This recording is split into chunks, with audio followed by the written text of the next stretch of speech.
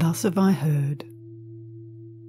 The Blessed One once appeared in the castle of Lanka, which is on the summit of Mount Malaya in the midst of the great ocean.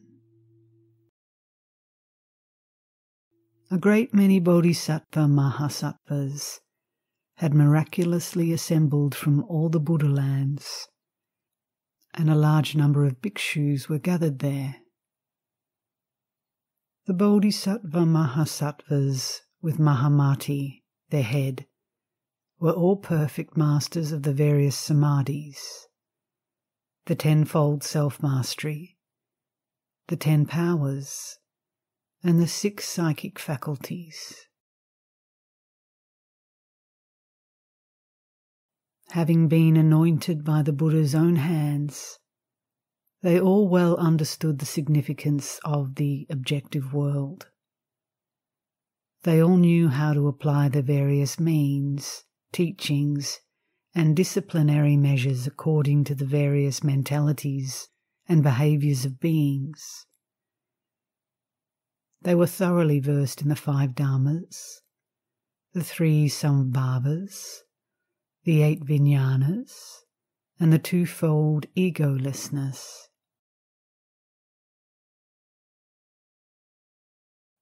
The Blessed One, knowing the mental agitations going on in the minds of those assembled, like the surface of the ocean stirred into waves by the passing winds, and his great heart moved by compassion, smiled and said, In the days of old, the Tathagatas of the past, who were arhants and fully enlightened ones, came to the castle of Lanka on Mount Malaya and discoursed on the truth of the noble wisdom that is beyond the reasoning knowledge of the philosophers, as well as being beyond the understanding of ordinary disciples and masters, and which is realizable only within the inmost consciousness. For your sakes, I too would discourse on the same truth.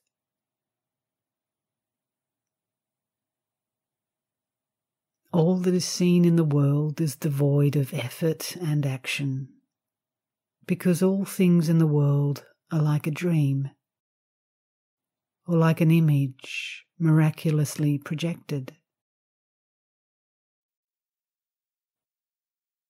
This is not comprehended by the philosophers and the ignorant but those who thus see them truthfully.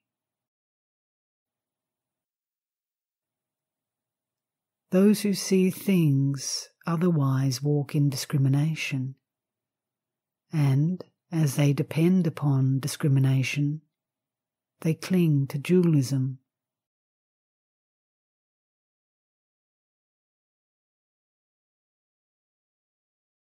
The world is seen by discrimination is like seeing one's own image reflected in a mirror,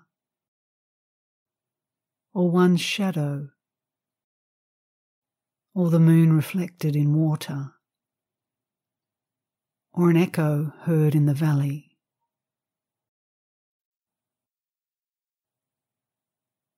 People grasping their own shadows of discrimination become attached to this thing and that thing and failing to abandon dualism, they go on forever discriminating. And thus never attain tranquility.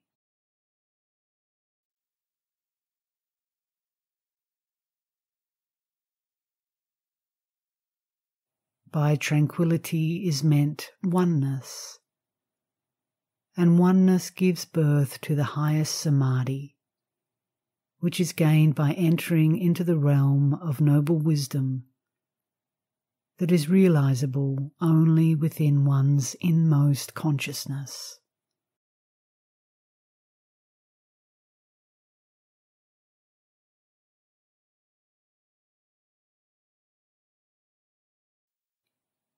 Then all the Bodhisattva Mahasattvas rose from their seats and respectfully paid him homage.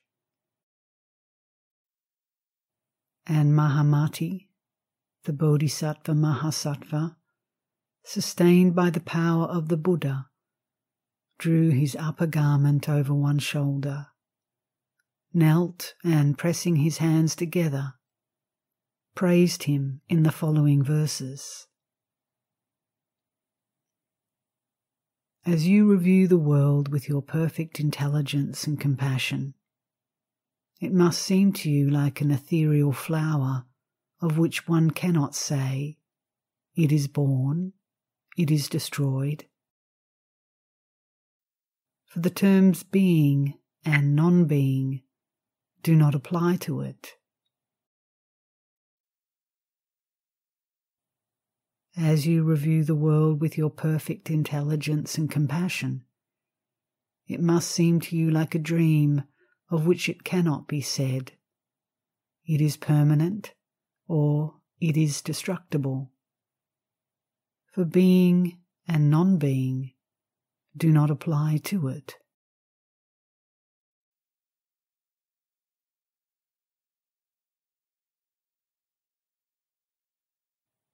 As you review all things by your perfect intelligence and compassion, they must seem to you like visions beyond the reach of the human mind.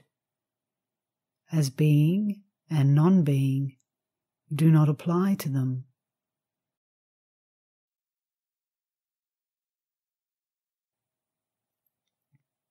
With your perfect intelligence and compassion, which are beyond all limit, you comprehend the egolessness of things and persons, and are free and clear from the hindrances of passion and learning and egoism.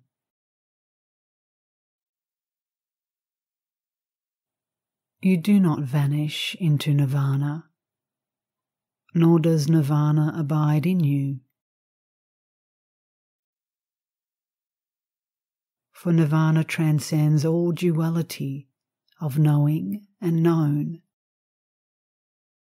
of being and non being.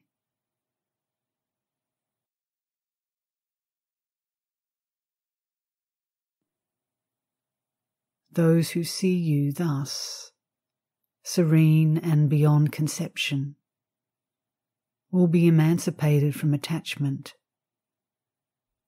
will be cleansed of all defilement, both in this world and in the spiritual world beyond.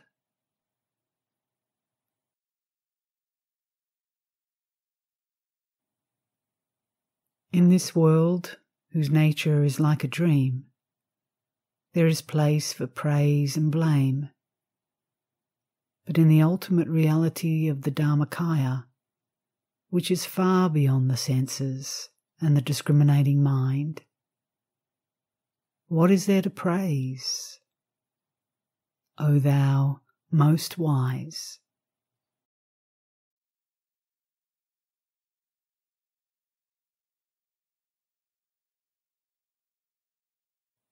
Then said Mahamati, the Bodhisattva Mahasattva, O Blessed One, Sugata, Arhat, and fully enlightened one. Pray tell us about the realization of noble wisdom, which is beyond the path and usage of the philosophers, which is devoid of all predicates, such as being and non being, oneness and otherness, bothness and non bothness existence and non existence, eternity and non eternity, which has nothing to do with individuality and generality.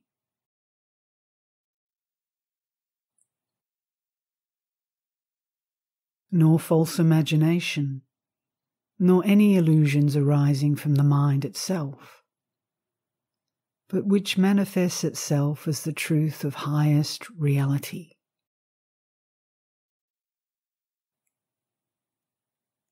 by which, going up continuously by the stages of purification, one enters at last upon the stage of Tathagatahood, whereby by the power of his original vows unattended by any striving, one will radiate its influence to infinite worlds, like a gem reflecting its variegated colours,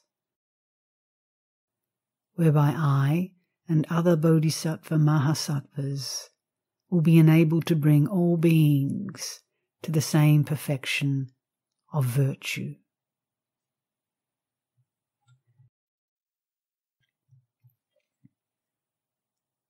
Said the Blessed One, Well done, well done, Mahamati. And again, well done indeed. It is because of your compassion for the world, because of the benefit it will bring to many people, both humankind and celestial, that you have presented yourself before us to make this request.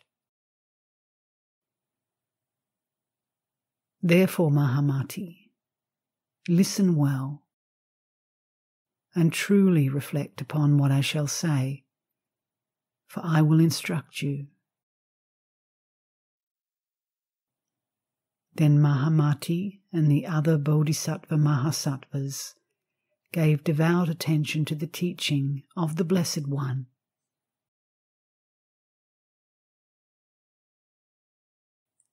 Mahamati, since the ignorant and simple minded not knowing that the world is only something seen of the mind itself, cling to multitudinous forms of external objects, cling to the notions of being and non being, oneness and otherness, bothness and non bothness, existence and non existence, eternity and non eternity and think that they have a self nature of their own.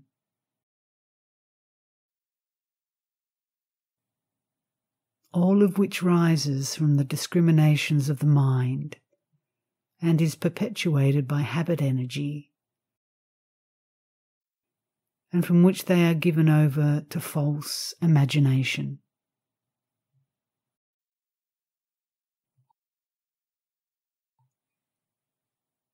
It is all like a mirage, in which springs of water are seen as if they were real.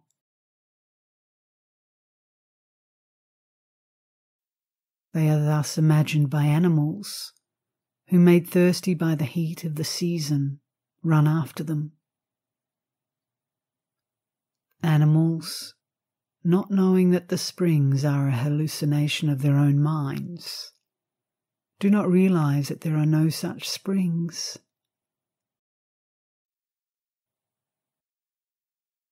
In the same way, Mahamati, the ignorant and simple minded, their minds burning with the fires of greed, anger, and delusion, finding delight in a world of multitudinous forms. Their thoughts obsessed with ideas of birth, growth, and destruction. Not well understanding what is meant by existent and non existent. And being impressed by the erroneous discriminations and speculations since beginningless time, fall into the habit of grasping this and that, thereby becoming attached to them.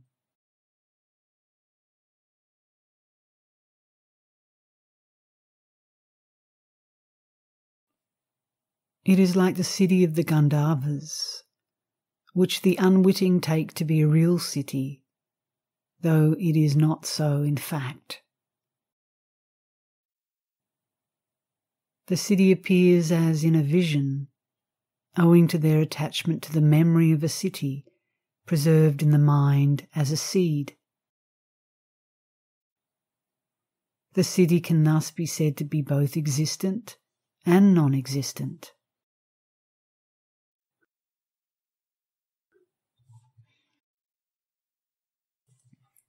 In the same way, clinging to the memory of erroneous speculations and doctrines, accumulated since beginningless time, they hold fast to such ideas as oneness and otherness, being and non being, and their thoughts are not at all clear as to what, after all, is only seen of the mind.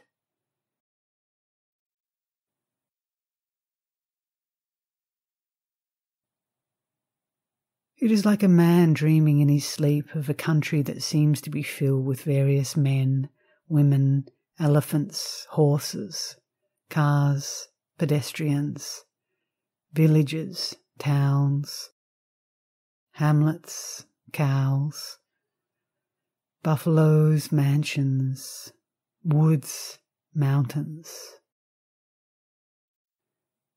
And who moves about in that city until he is awakened.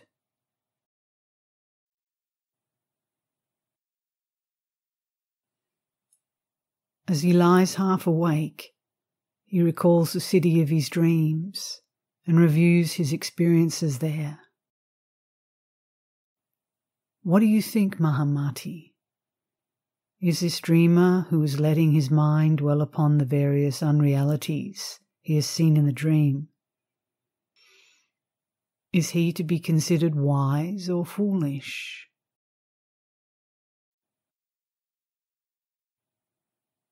In the same way, the ignorant and simple minded, who are favourably influenced by the erroneous views of the philosophers, do not recognize that the views that are influencing them are only dreamlike ideas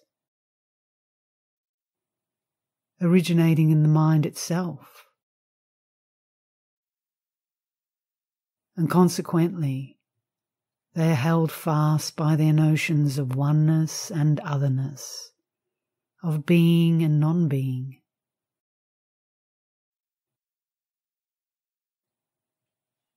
It is like a painter's canvas on which the ignorant imagine they see the elevations and depressions of mountains and valleys.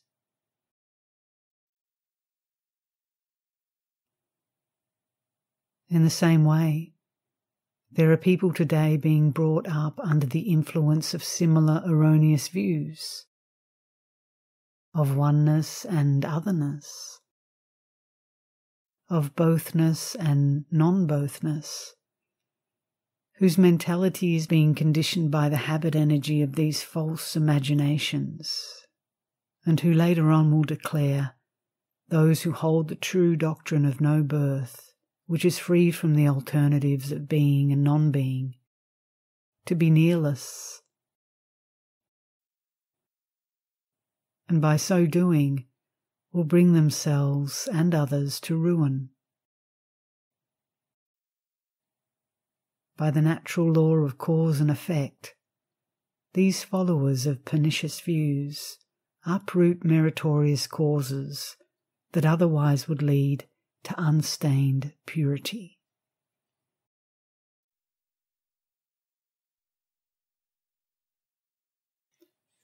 It is like the dim eyed ones who, seeing a hairnet, exclaim to one another, It is wonderful. Look, honourable sirs, it is wonderful. But the hairnet has never existed. In fact, it is neither an entity nor a non-entity, for it has both been seen and has not been seen. In the same manner, those whose minds have been addicted to the discriminations of the erroneous views cherished by the philosophers, which are given over to the realistic views of being and non being, will contradict the good Dharma and will end in the destruction of themselves and others.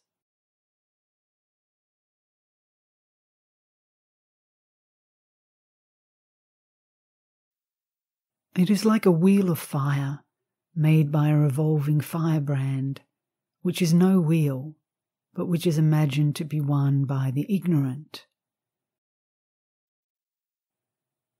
Nor is it not a wheel, because it has not been seen by some.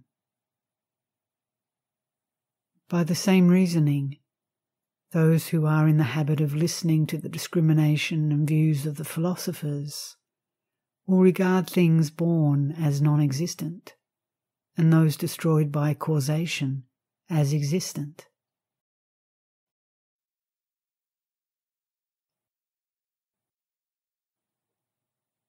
It is like a mirror reflecting colours and images as determined by conditions, but without any partiality.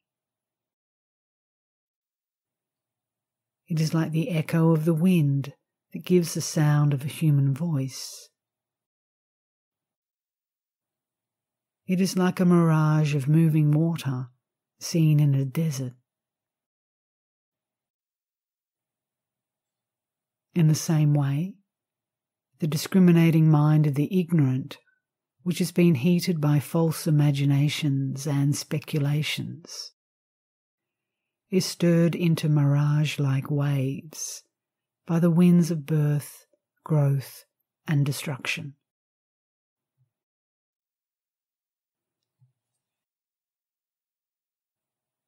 Then said Mahamati to the Blessed One,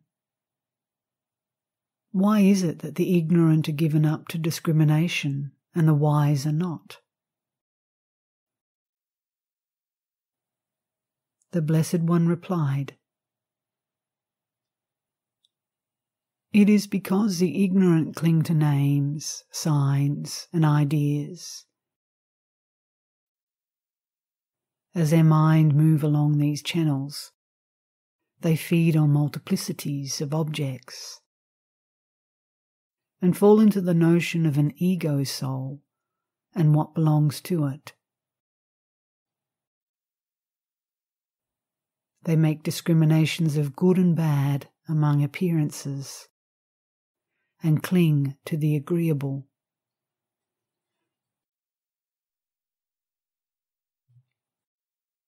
As they thus cling, there is a reversion to ignorance. And karma, born of greed, anger, and delusion, is accumulated. As the accumulation of karma goes on, they become imprisoned in a cocoon of discrimination and are henceforth unable to free themselves from the round of birth and death.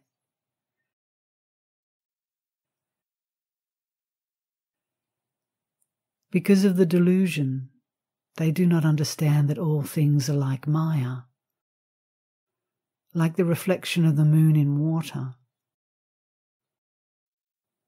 that there is no self substance to be imagined as an ego soul and its belongings.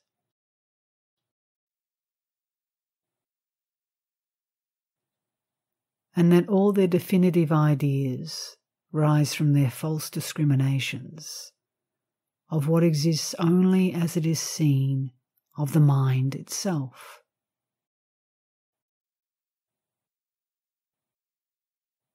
They do not realize that things have nothing to do with qualified and qualifying, nor with the course of birth, abiding, and destruction. And instead, they assert that they are born of a creator, of time, of atoms, of some celestial spirit.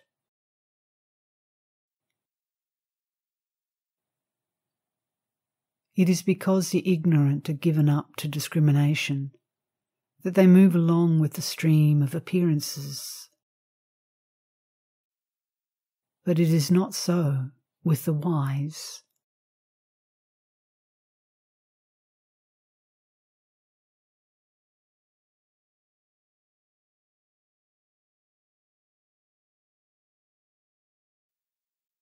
Then Mahamati the Bodhisattva Mahasattva, spoke to the Blessed One, saying, You speak of the erroneous views of the philosophers. Will you please tell us of them, that we may be on our guard against them? The Blessed One replied, saying, Mahamati, the error in these erroneous teachings that are generally held by the philosophers lie in this. They do not recognize that the objective world rises from the mind itself.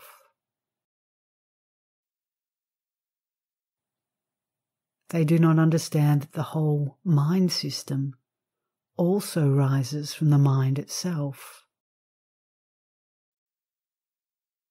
But depending upon these manifestations of the mind as being real, they go on discriminating them.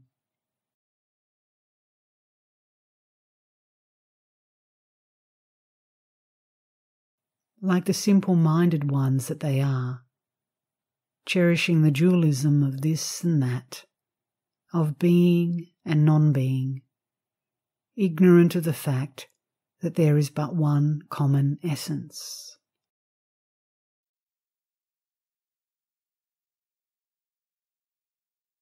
On the contrary, my teaching is based upon the recognition that the objective world, like a vision, is a manifestation of the mind itself. It teaches the cessation of ignorance, desire, deed, and causality.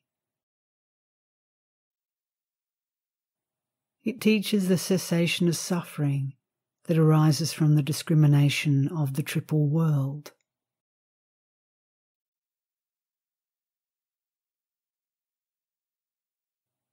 There are some Brahman scholars who, assuming something out of nothing, assert that there is a substance bound up with causation which abides in time and that the elements that make up personality and its environment have their genesis and continuation in causation, and after thus existing, pass away.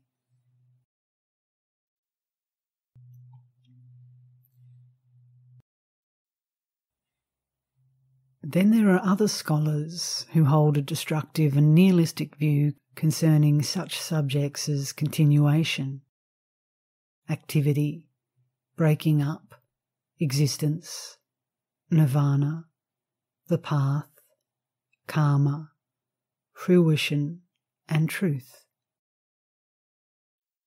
Why?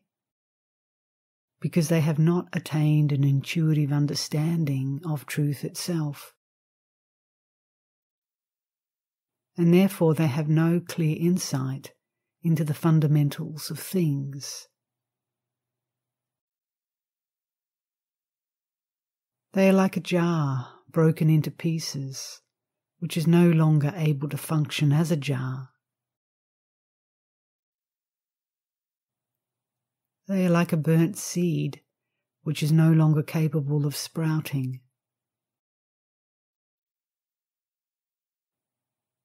But the elements that make up personality and its environment, which they regard as subject to change, are really incapable of uninterrupted transformations. Their views are based upon erroneous discriminations of the objective world. They are not based upon the true conception.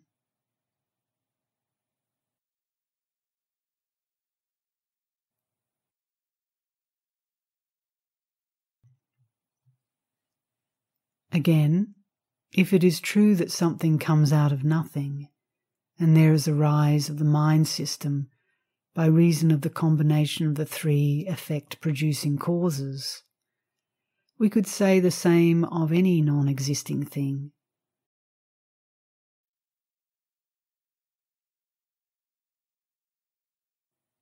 For instance, that a tortoise could grow hair or sand produce oil.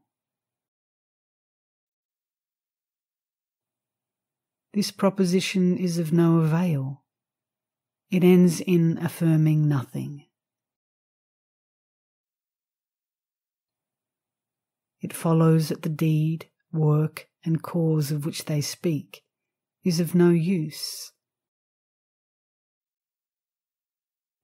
And so also is their reverence for being and non being.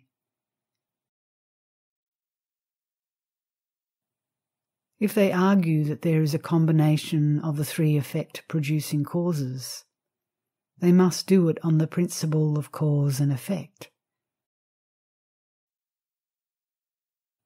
That is, that something comes out of something and not out of nothing.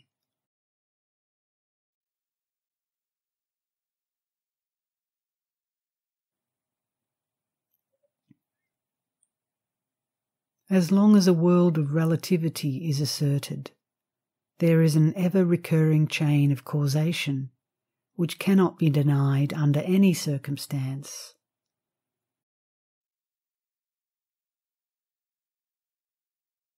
Therefore, we cannot talk of anything coming to an end of cessation.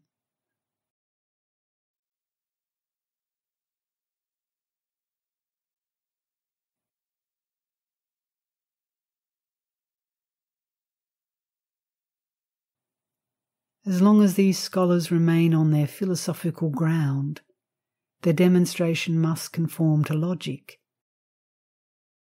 and their textbooks and the memory habit of erroneous intellection will ever cling to them.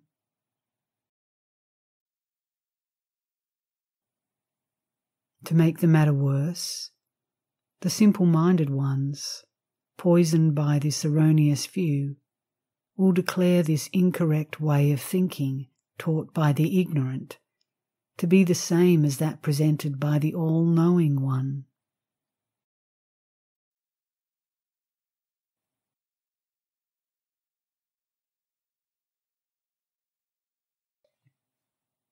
All such notions as causation, succession, atoms, primary elements that make up the personality, personal soul, supreme spirit, sovereign God, creator, are all figments of imagination and manifestations of the mind.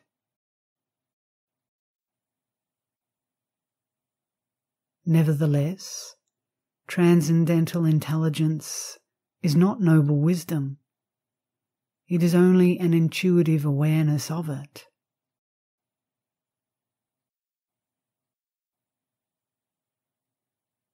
Noble wisdom is a perfect state of imagelessness. It is the all conserving divine mind which in its pure essence forever abides in perfect patience and undisturbed tranquility.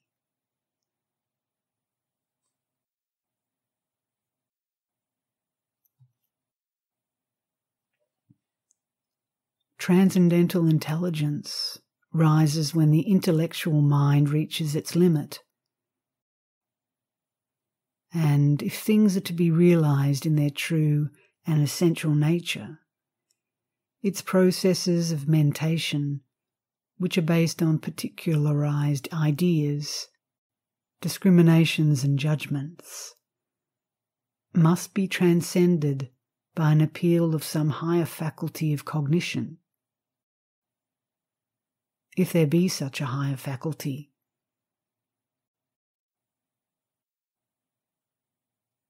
There is such a faculty in the intuitive mind, manas, which, as we have seen, is the link between the intellectual mind and the universal mind.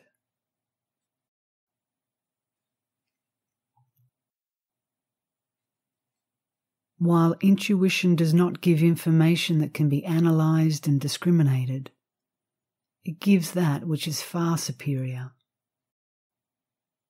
self realization through identification.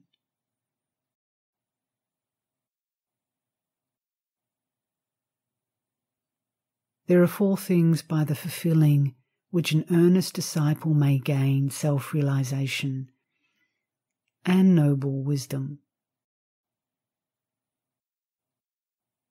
First,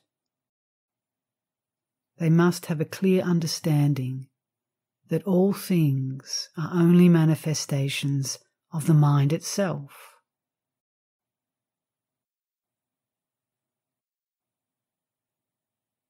Second, they must clearly understand the egolessness of both things and persons.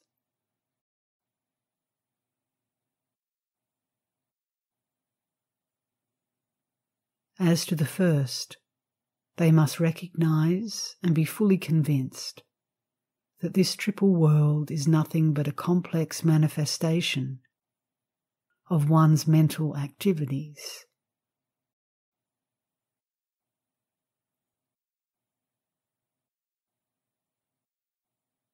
That it is devoid of selfness and its belongings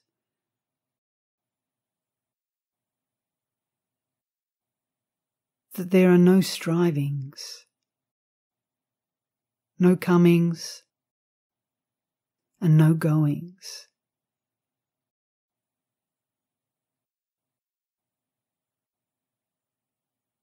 They must recognize and accept the fact that this triple world is manifested and imagined as real.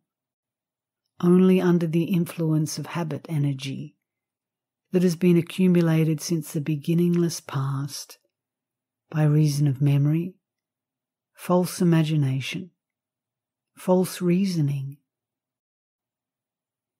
and attachments to the multiplicities of objects and reactions in close relationship and in conformity to ideas of body property and abode.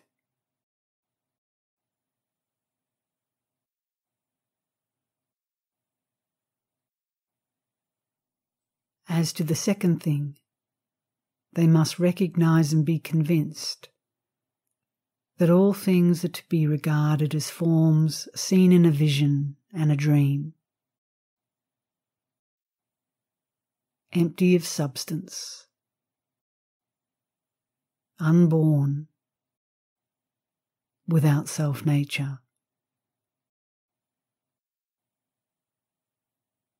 that all things exist only by reason of a complicated network of causation.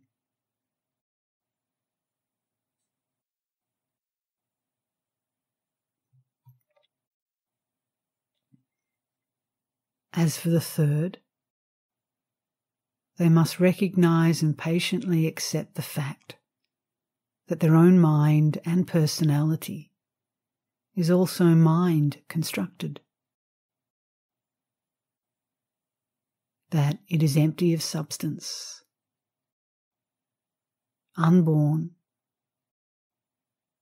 and egoless.